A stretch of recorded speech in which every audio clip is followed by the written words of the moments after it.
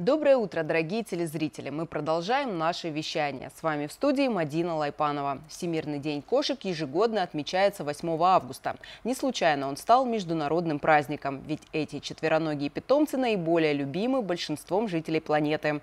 Кошки улучшают жизнь людей уже самим своим присутствием. Они создают благоприятный микроклимат в доме, привносят в него уют, размеренность и спокойствие. Многие столетия коты живут рядом с человеком, делясь с ним печали и радости. Благодарность за это и был учрежден Всемирный день кошек. Сегодня в нашей студии мы поговорим о пользе домашних животных и о том, какие проблемы может решить ваш любимый питомец. Но перед этим давайте узнаем, какая погода ждет нас в эту пятницу.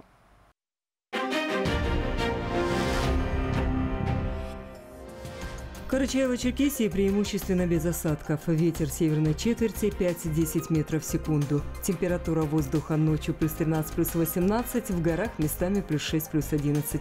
Днем плюс 26 плюс 31, в горах местами плюс 17 плюс 22 градуса. В южных районах местами высокая пожароопасность. В Черкеске без существенных осадков. Ветер северной четверти 5-10 метров в секунду. Температура воздуха ночью плюс 15 плюс 17, днем плюс 29 плюс 31 градуса.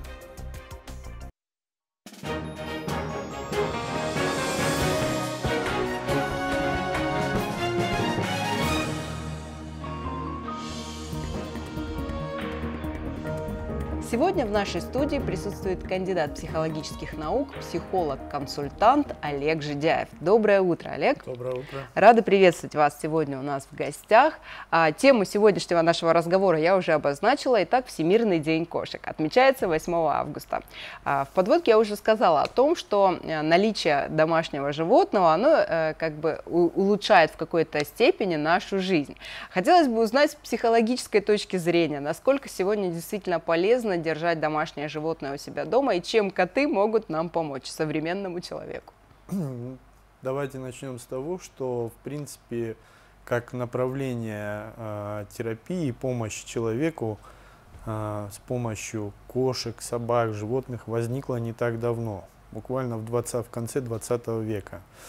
А вообще из небольшой истории э, врачи-психиатры угу. впервые заметили пользу домашних животных для лечения психических заболеваний в конце 18 века, а, когда собаки, это были сначала угу. собаки, конечно же. Первопроходцы, а, первопроходцами были собаки, да.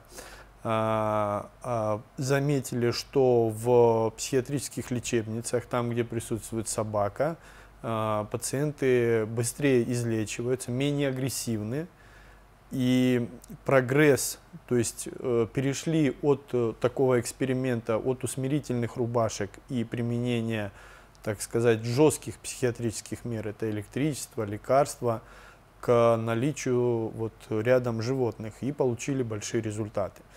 Немножко это направление затихло в течение 19 века, и в 20 веке оно вновь возобновилось, опять же, с собаками, когда британский э, ученый, британский психиатр заметил в своей клинике, что маленькие пациенты с э, аутизмом, с угу. психическими заболеваниями, которые приходят к нему на прием, очень внимательно э, относятся к его собаке, и лечение проходит гораздо быстрее и плавнее. Вот в 1969 году он ввел термин, понятие пэт-терапия. Сегодня mm. это зоотерапия, и она делится на многие направления, потому что каждый отдельный вид животных – это отдельная терапия.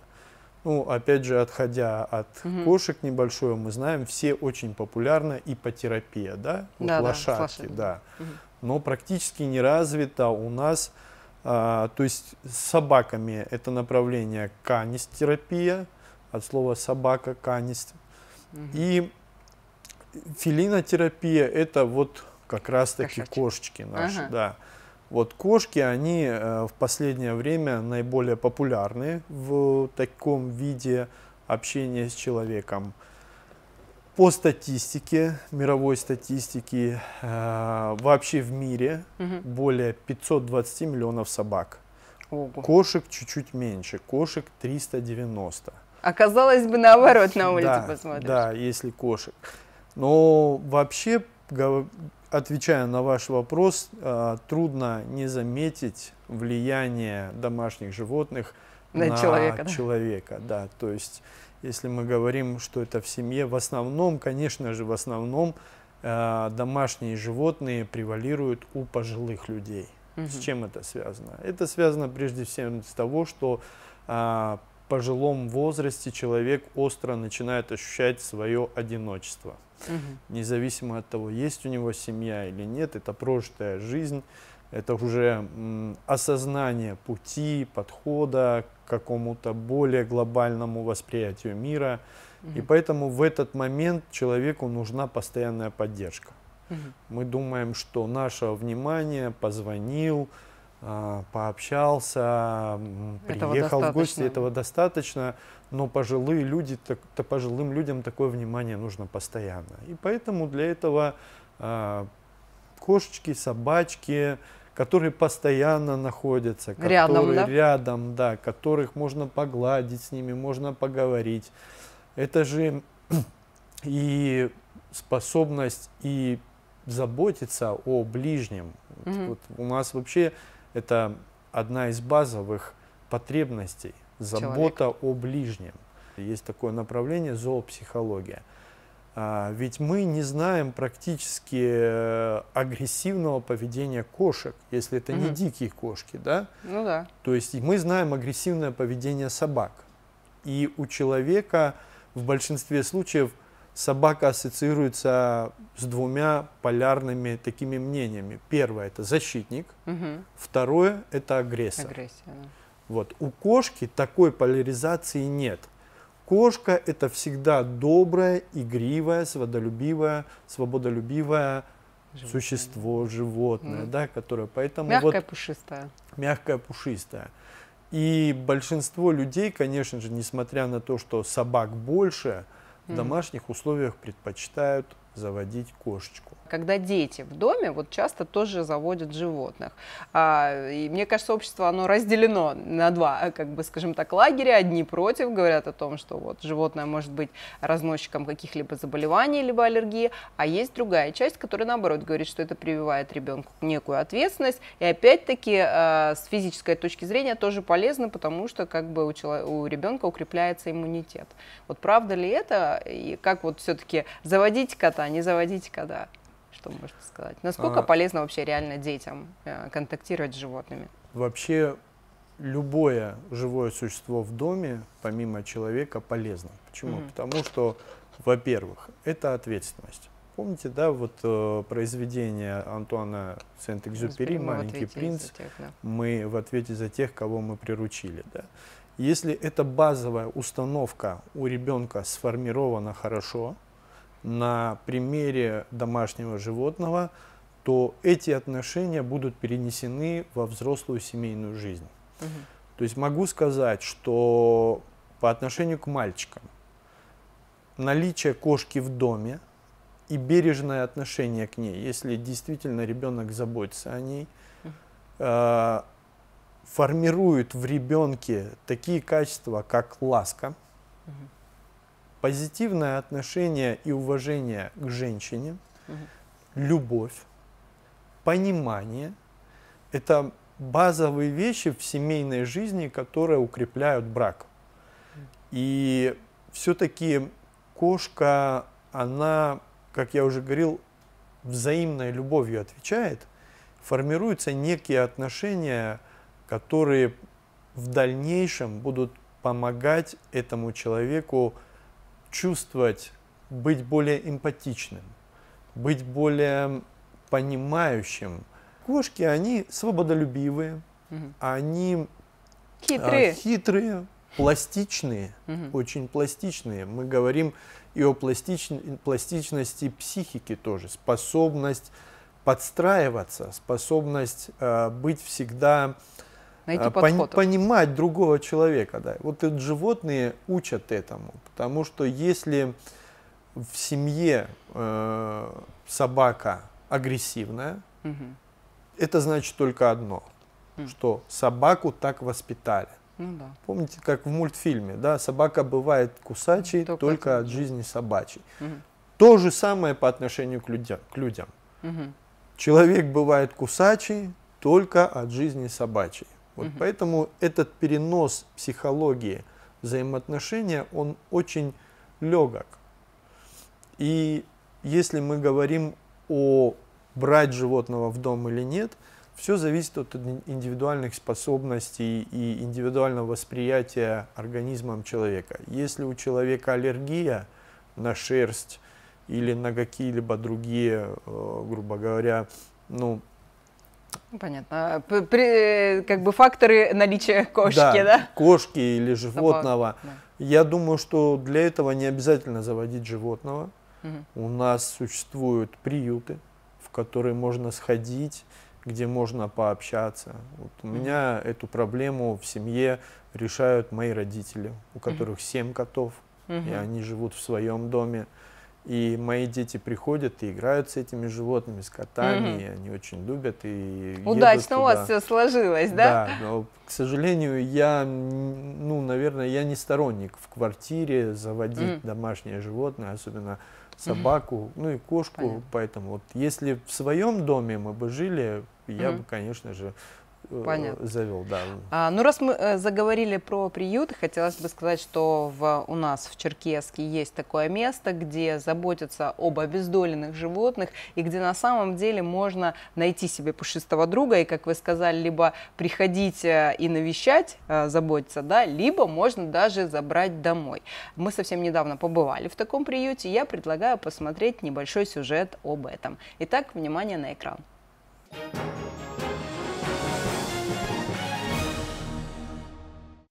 Решили завести кота или кошечку, но не знаете, где их взять? Ответ прост – на улице или в приюте для животных. А еще можно наведаться в госпиталь для тяжелобольных животных «Белый клык» и присмотреть пушистого друга именно здесь.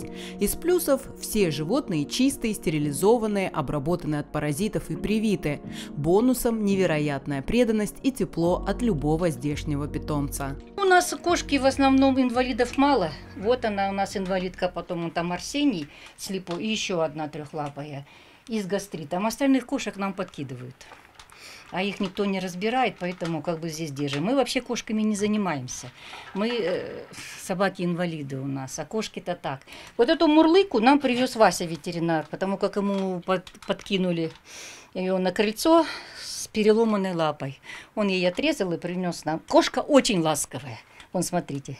И она так, он говорит, если бы она не мурлыкала, я бы, наверное, вот видите. Ну, она ходит на лоточек. Она умничка, может, кто возьмет девочку. Посмотрите, какая она красивая, чистенькая, ухоженная. Они у нас все обработанные, все. Еще одним плюсом животного из приюта является его возраст. Да-да, именно так. Почему-то многие думают, если заводить домашнее животное, то это должен быть котенок, которого можно воспитать и получить идеального питомца. Но не всегда люди понимают, с какими сложностями они столкнутся, пытаясь приучить его к горшку или научить есть сухой корм. А в приюте все животные уже научены манерам, неприхотливы и безумно ласковы. Арсюша у нас от рождения слепой. Тоже вот кота нашли, принесли. Ну, тоже на лоток ходит. Он ходит на лоток по запаху. Спокойный кот. Вот, ласковый тоже, да, Арсюша? Его тут любят, все приходят. Его, вон, смотрите, он садится там, на спинку кому-нибудь залезет. Когда мы вагончики убирали, он, вон, видите, ласковый котик. Тоже подбросили. Слепой никому не нужен, подкинули. Видите, у него глазок нету. Почему лучше взять животное из приюта? Потому что из приюта, во-первых, вы берете из приюта, вам животное будет благодарно очень. Оно вас будет любить, оно вам будет, ну, как подарок судьбы, что ли. Вот. Потом, во-первых, они уже у нас обработаны все, чистые. Вы уже берете как бы животное без всяких болезней, без всяких паразитов, без блох. Ну, еще вы делаете очень благое дело. Вот уже несколько лет Наталья Желонкина является волонтером «Белого клыка». Как рассказывает женщина, несмотря на то, что основными обитателями госпиталя являются собаки, кошек им тоже часто подбрасывают или же сами волонтеры находят раненых и измученных пушистиков. История каждого из них – отдельная драма. Именно поэтому волонтеры очень хотят, чтобы каждый кот или кошечка нашли своего заботливого хозяина. Я бы очень попросила жителей Карачаева-Черкесии, чтобы они стерилизовали своих домашних животных. Потому что, когда вы их выбрасываете, они привыкают к людям. Значит, они идут к детям, идут к живодерам, над ними издеваются. Мы потом находим придушенных, э, переломанных. Это вообще страшно. Это. Дикие, они рождаются в подвале, они не выйдут к людям никогда, они будут прятаться. Это не грех, что вы стерилизуете кошку, собаку. Грех, когда вы выбросите несмышленышей, маленьких, ни в чем не повинных детишек на растерзание живодером. И и с приюта можно взять. У вас проблем просто не будет с этими животными. Мы вас очень просим. Пожалуйста. Приходите, посмотрите. Может, кому-то кто-то понравится. Может, слепыша возьмете, может, безлапую возьмете. У меня дома я вообще забрала эту инвалидку, она спинальница. У меня никаких с ними проблем нету с ней. Я ее в свое время садила, и она по квартире ходит, и живет она у меня уже живет почти год. Как я сюда я ее забрала, так она у меня и живет, и ничего страшного. Конечно, бывают ситуации, когда человек просто не может позволить себе держать кота в доме. Но даже в этом случае можно помочь этим обездоленным животным. Любой желающий может принести корм, медикаменты, деньги или просто оказать помощь в хозяйственных делах приюта. Ну а самое главное, каждый может подарить частичку тепла и любви братьям нашим меньшим.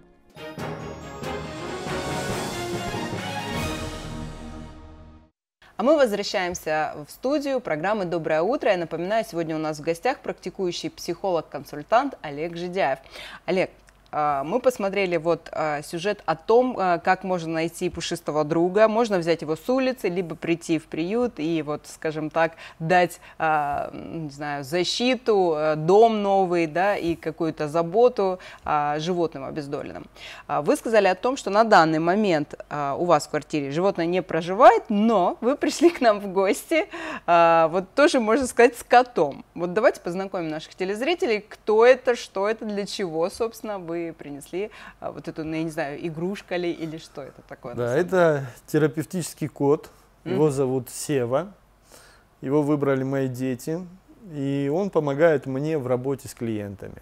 Угу. Нет возможности, конечно же, приносить с собой живых кота. животных, да, хотя, конечно, терапевтический эффект от э, живых кошек, собак, он больше. Угу. Но этот код тоже выполняет такую функцию. Если мы консультируемся с э, людьми, у которых повышенный уровень тревоги, что, кстати, немаловажно, потому что кот и кошки способствуют выделению гормонов счастья, э, дофамин и так далее. И, и так вот далее. это знаменитое мурлыканье, да? Вот да, говорят, оно же да, успокаивает да, человека. Да, конечно, оно способствует выделению гормонов счастья, это уже научно доказано. Угу.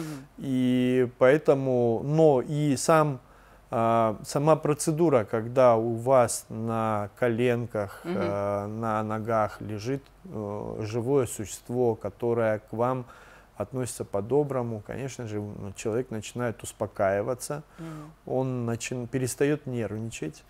И вот этот э, котик, он выполняет такую функцию, когда в человеку, работе применяете, да, в работе, да? да, в консультировании, когда клиенту становится тревожно, когда мы проходим определенные этапы консультирования, при которых необходимо вспомнить травматические ситуации, вот э, нам помогает Сева. Угу. И он справляется со своей функцией, поэтому прежде чем а, завести домашнее животное, кота, возможно, ребенку необходимо просто попробовать а, вот, посмотреть на общение с такими а, мягкими игрушками, как ребенок к нему относится. Если он поиграл и бросил, угу. то, возможно, ребенок не готов еще к тому, чтобы построить свои взаимоотношения с э, живым котом. Угу. И я хотел бы предостеречь родителей от э, того, чтобы э, такое решение принималось импульсивно. Почему? Угу. Потому что взять животное домой не составляет труда, но потом это животное попадает в приют, если от него отказывается. Это хорошо, и... если в приют, хорошо, а так просто да, выкинуть да. могут. Ну и скажу, в приюте тоже ничего хорошего, хотя Конечно. приют очень хорошо заботится о, я в этом уверен, угу. о домашних животных, но животное, оно все равно социальное. Да, ему Любому коту нужен человек, человек. Мгм. и человеку нужен кот. Поэтому вот здесь, конечно же, нужно очень внимательно родителям смотреть на то, как э, ребенок относится прежде всего вот к своим игрушкам, Мгм. готов ли он морально к тому, чтобы в доме появилось животное не просто для игры, но ведь это еще и ответственность, и забота. А скажите, пожалуйста, как вы считаете, можно научить ребенка заботе и ответственности э, через, вот, скажем так, э, взятие животного в дом? Конечно, конечно, можно, но опять же, а, если мы говорим о семейном воспитании, то, конечно же, э, это семейная модель. И здесь двоякая может быть ситуация. Если родители проявляют заботу и внимание по отношению к своим детям, то эта же э, модель поведения будет транслироваться и на животных. Если же родители проявляют агрессию и применяют физическую силу, конечно же, надеюсь, что такого повторять. нет, то ребенок будет э, это транслировать на животных, потому что таково, так устроена наша психика. Для того, чтобы пройти травмирующую ситуацию, нужно для, э, то, что тебе передали. То есть ты получил обиду, ты ее передал Мгм. но это не выход из ситуации. И в этом случае животное может тоже страдать.